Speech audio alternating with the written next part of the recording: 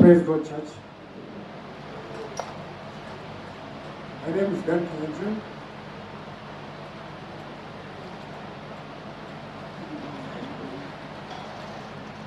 I was engaged to Winnie in 2020.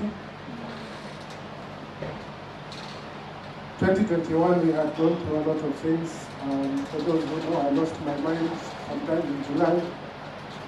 The wind stood with me.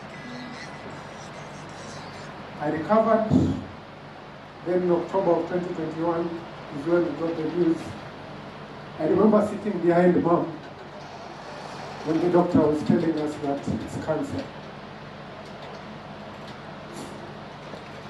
We walked the journey silently for a year.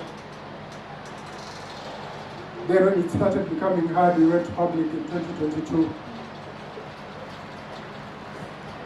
2023, I lost my mind again, but this time it was controlled.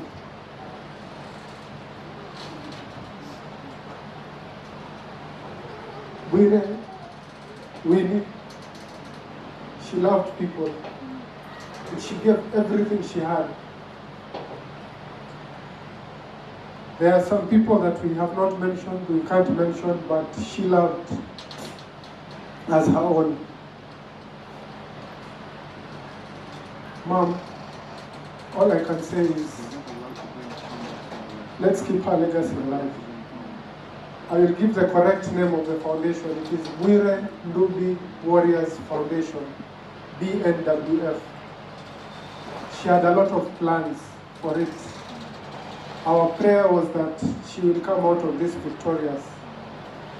And I guess in God's own way, this is a form of victory because there's no more pain for her. But there's pain right here. I have nothing to say. The family knows, those who don't know. Let's just keep her memory alive. Thank you.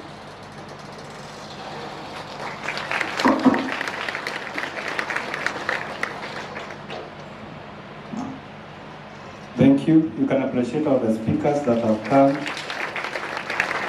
speaking things about Winnie. God bless you all. At this juncture, I just want to invite our elder Cassandra. We need to give you an opportunity to start with this family right now. So I welcome Elder Cassandra to come and guide us on how tumalize hii safari.